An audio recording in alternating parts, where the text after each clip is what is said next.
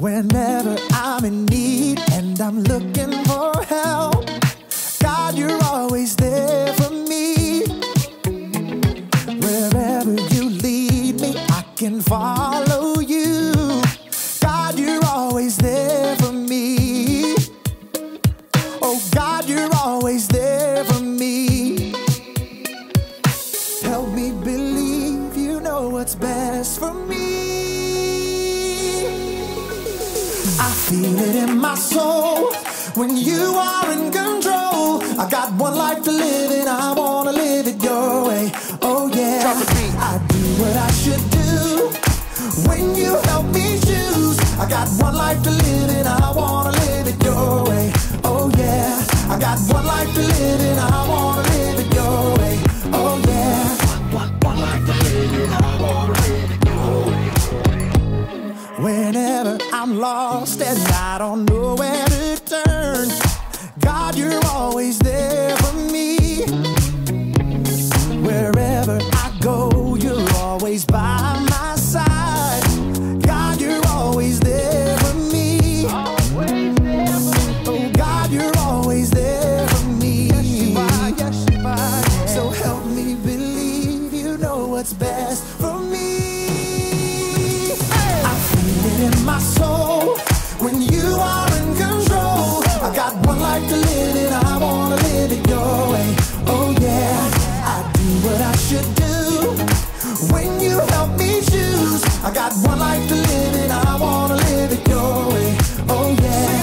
got one life to live and I wanna live it your way. Oh yeah.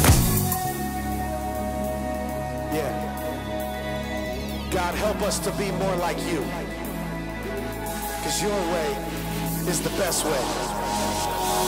I feel it in my soul when you are in control. I got one life to live and I wanna live it your way. Oh yeah, I do what I should do when you help me choose. I got one life to live and I wanna live it your way. Oh yeah, I feel it in my soul when you are in control. I got one life to live and I wanna live it your way. Oh yeah, I do what I should do when you help me choose. I got one life to live and I wanna live it your way. Oh yeah, I got one life to live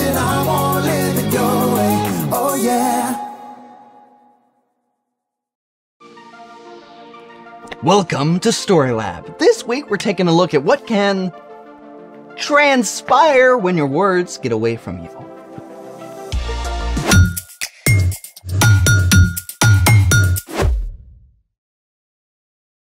Hey, I'm Carter. And I'm Zeke. This month, we're talking about how we can trust God to help us do what's best. That's prodigious.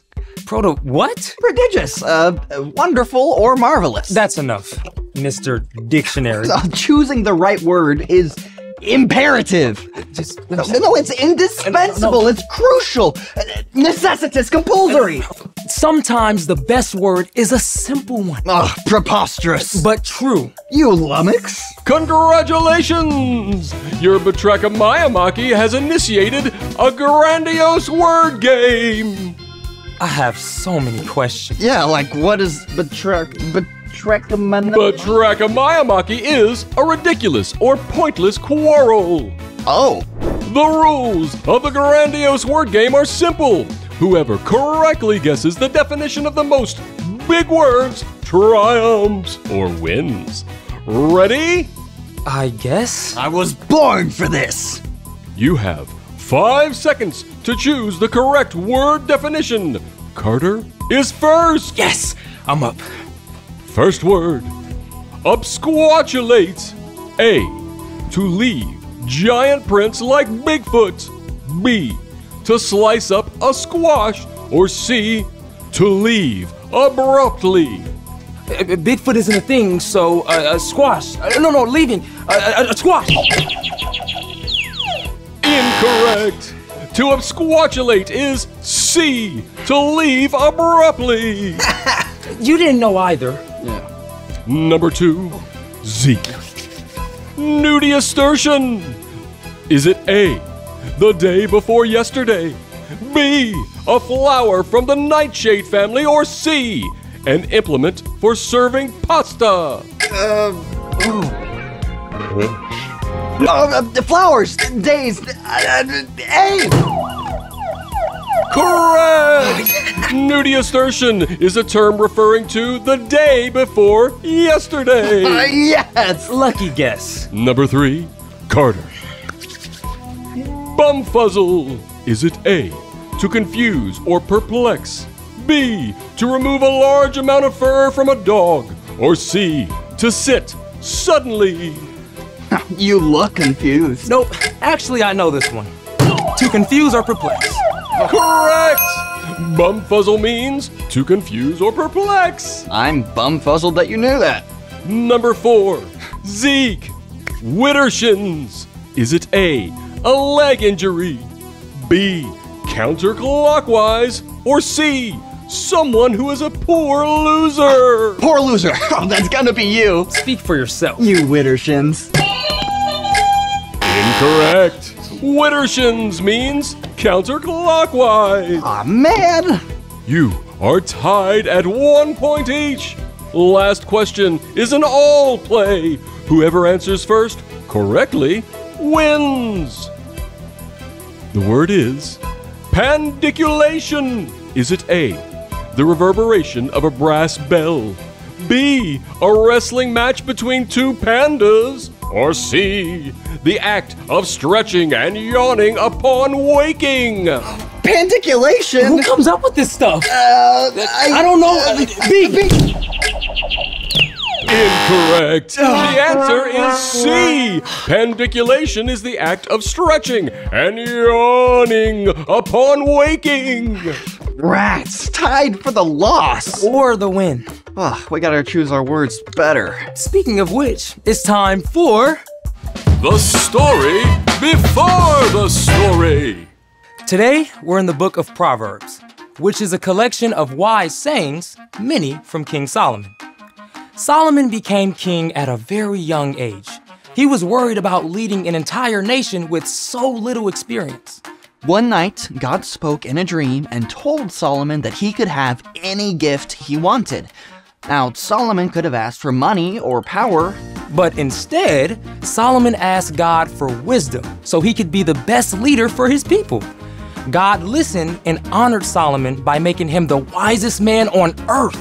Many of the things Solomon learned and said were collected, along with other wisdom. The sayings, called Proverbs, are short sentences or stories that help people make wise decisions in their everyday lives. which is where our story starts. Take it away. Hey everyone, I'm Brian. That was four words right there, in case you're counting. Oh, and another 10. Did you know the average person speaks between 6,000 and 16,000 words every single day? Blah, blah, blah, blah. Hmm, sounds exhausting, huh? Hmm. But we speak all that word soup without even thinking about it. And to top it off, you probably have around 7 to 10,000 words in your vocabulary to choose from every time you open your mouth. Mm hmm. All of this comes down to something really, really important. You ready for this? Words are like a superpower. I'm serious. We can read about it in one of the wise proverbs that Solomon collected. The words of thoughtless people cut like swords, but the tongue of wise people brings healing. Did you hear that? The words of thoughtless people cut like swords, but the tongue of wise people brings healing. Every single time you open your mouth, you have the power to do this. Or this. What you say is so powerful that it can cut somebody deeply or help them heal. Think about this. You've probably skinned your knee before. Ouch. But once your knee healed up, have you thought about it that much? Nah, probably not. It's all good. Now, has anybody ever made fun of you? Those words can cut really, really, really deep. You may not be able to see any wound, but it's there. And this kind of hurt doesn't heal easily. Even if it happened a long time ago, I bet you still think about it sometimes. Mean words can still hurt all this time later. The words of a thoughtless person cut like swords.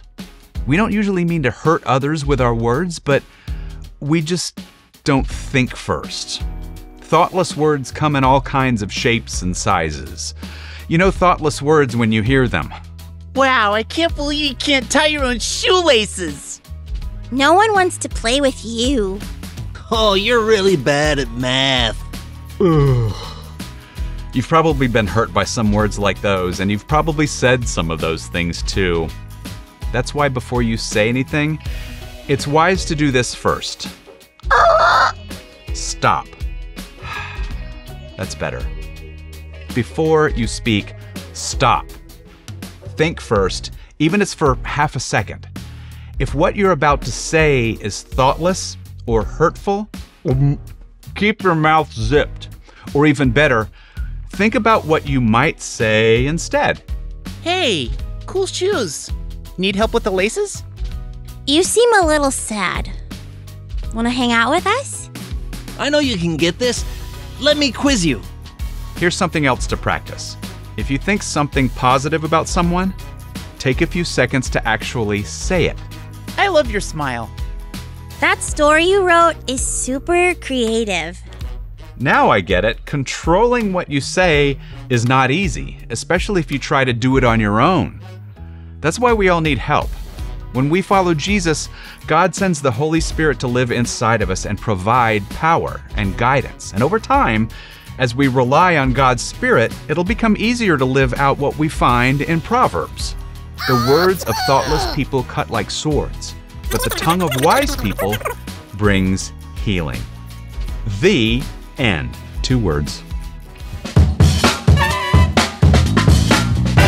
Yikes, that hits right in the vocal cords. It's so easy to say whatever pops into my head. Yeah, it's like my mouth is on autopilot. Yeah, you're not wrong. The more we think and speak a certain way, the more we actually wire our brain to keep responding that way automatically. So, What's our part in the story? Well, you can practice self control. Self control is choosing to do what's best even when you don't want to. When it comes to choosing your words wisely, that means pausing to think before you speak. There are a lot of times I need to remember that. Yeah, like when mom makes fish for dinner. Again. Or your little brother borrows your charging cord and doesn't put it back. Or that kid cuts ahead in the cafeteria line. Or your teacher announces a pop quiz. Don't try to make it happen on your own. When you follow Jesus, God sends the Holy Spirit to live with you and give you the strength to choose your words with kindness and compassion. You can ask God to remind you to slow down before you speak. Yeah, so you can zip it before saying something hurtful. And you can choose to say something kind and healing instead. Use those wordy superpowers for good. You've got that right. See you next time. Eight words. Bye.